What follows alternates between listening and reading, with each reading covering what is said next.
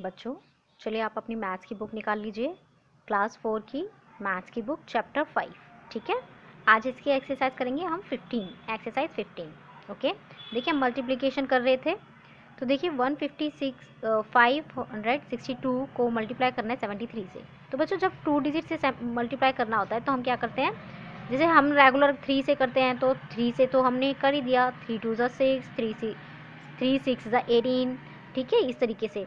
लेकिन जब हम टू डिजिट से मल्टीप्लाई करते हैं तो क्या करते हैं, हम यहाँ पर ज़ीरो लगाते हैं सबसे पहले, ठीक है? उसके बाद हम क्या करेंगे सेवन से मल्टीप्लाई करेंगे, जैसे हमने थ्री से किया था। इसको पूरे को हमने मल्टीप्लाई कर दिया। अब इसे क्या करेंगे, फिर ऐड कर देंगे। सिक्स प्लस ज़ीरो सिक्स और eight four six three one nine four तो इसका आंसर आएगा four one zero two six ठीक है? इसी तरीके से आप ये सारा का सारा काम करेंगे यहाँ तक नाइन तक, ठीक है? और एक चीज़ और बच्चों, जब हम किसी भी चीज़ को ज़ीरो से मल्टीप्लाई करते हैं तो आंसर क्या आता है? ज़ीरो ठीक है? इसलिए मैंने यहाँ पे आपको बता दिया कि यहाँ पे ज़ीरो आएगा। और ये भी आप अपना होमवर्क ही करेंगे कॉपी में, ठीक है? ये सारा आपका होमवर्क है। फिल इन द बॉक्सेस अब आपको बॉक्स में फिल करना है। देखिए, यहाँ पे आपको यहाँ पे एट दिया हुआ था, है ना? यहाँ पे आपको देखना था कि यहाँ पे क्या आएगा। सॉरी यहाँ पर एट नहीं था और यहाँ भी सिक्स नहीं था। तो यहाँ पर क्या है? एट इट मीन्स कि एट को हम किस चीज़ से मल्टीप्लाई करें कि एट आना चाहिए? ठीक है? क्योंकि हमें तो पता है कि ज़ीरो से यहाँ पर तो ज़ीरो ही आना है और यहाँ पर एट ही आना है। एट आने का मतलब ये है कि हम कि, कौन से नंबर से इसको मल्टीप्लाई करें कि एट आए। एट सिक्स ज़ा फोर्टी एट ठीक है? इसलिए हमने यहाँ पे सिक्स लगा दिया इस हिसाब से। फिर सिक्स से हम पूरा मल्टीप्लाई कर देंगे, इसको पूरा आ जाएगा। ये बॉक्स इन्होंने ऐसे ही दे दिया है एक्स्ट्रा है। फिर थ्री से मल्टीप्लाई करेंगे तो ये यहाँ पे आ जाएगा और फिर इसको हम ऐड कर देंगे और ये हमारा आंसर आ जाएगा। इसी तरीके से आपको ये भी करना है। ठीक है बच्चों? अब इसमें वर्ड प्रॉब्लम है। तो हम वर्ड प्रॉब्लम को नहीं करेंगे। चलिए बच्चों एक चीज़ और आपको ध्यान रखनी है कि देखिए टर्म रिलेटेड टू डिविजन्स ठीक है? अब देखिए ये सेवन है। सेवन क्या है बच्चों? डिवाइज़र है जिससे हम आ, इस वैल्यू को डिवाइड करते हैं वो क्या होता है? डिवाइज़र और जिसे हम डिवाइड करते हैं वो क्या होता है? डिविडेंड डिवाइज़र डिविडेंड और जो हमें डिवाइड करने के बाद क्या मिलता है यहाँ पर? इसे बोलते हैं क्वेश्चन ठीक है? और जो बच जाता है, देखिए कभी कभी बचता है कभी कभी नहीं बचता है।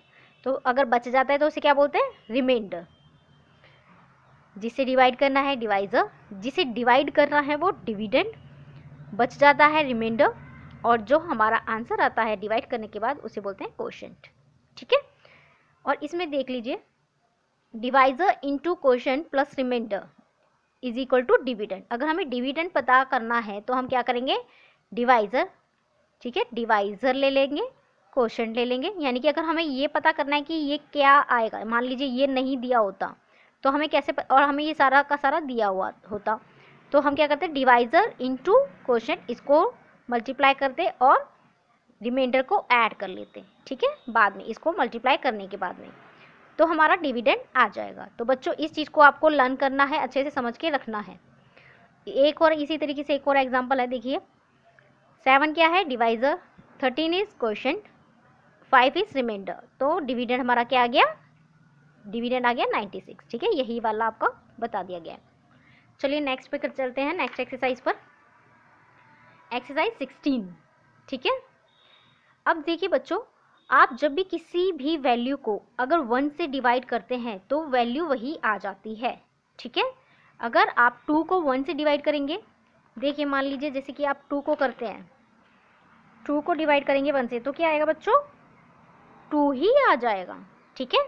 देखिए, मान लीजिए टू को टू से करते हैं तो क्या आएगा बच्चों? वन आएगा। क्लियर किसी भी वैल्यू को वन से डिवाइड करने पे वही वैल्यू वापस आ जाती है। अगर हम किसी वैल्यू को उसी वैल्यू से डिवाइड कर रहे हैं तो आंसर हमारा वन आ जाएगा, ठीक है? इसी तरीके से अगर ज़ीरो को डिवाइड कर रहे हैं इससे तो आंसर ज़ीरो हो जाता है। और इसमें पूछा है कि किस नंबर से हम इसे डिवाइड करें कि टू ज़ीरो सेवन आ जाए? देखिए, अगर आप two zero twenty thousand four hundred ninety three को इसी से डिवाइड कर देंगे टू ज़ीरो सेवन से तो आपको ये मिल जाएगा। ठीक है? अगर हम इस, इसको, इसे हमने इससे डिवाइड कर दिया तो हमारा ये मिल जाएगा। क्लियर जैसे कि मान लीजिए, मैं यहाँ पे फोर लिखती हूँ डिवाइड करती हूँ डिवाइड बाय डैश कर देती हूँ। और मुझे मिलता है टू ठीक है? अब मैं कहती हूँ कि यहाँ पे क्या आएगा? तो ऑफकोर्स मुझे इसे डिवाइड करूँगी। मैं फोर को डिवाइड कर दूँगी टू से तो मुझे टू मिल जाएगा। ठीक है? इसी तरीके से बड़ी बड़ी संख्याओं में भी ऐसे ही होता है। अब ये देखो सेम डिजिट है और ये सेम डिजिट से ही डिवाइड हो रहे हैं। सेम डिजिट सेम डिजिट से डिवाइड हो रहे हैं तो इसका आंसर आ जाएगा वन ठीक है? The number by which dividend is divided is called divisor ठीक है?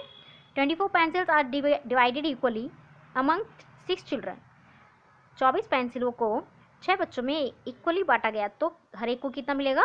चार पेंसिल क्लियर चलिए नेक्स्ट पेज पर आ जाइए।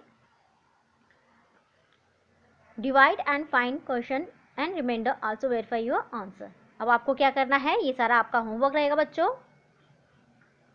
ये आपको डिवाइड करना है, ठीक है? और आंसर निकालना है।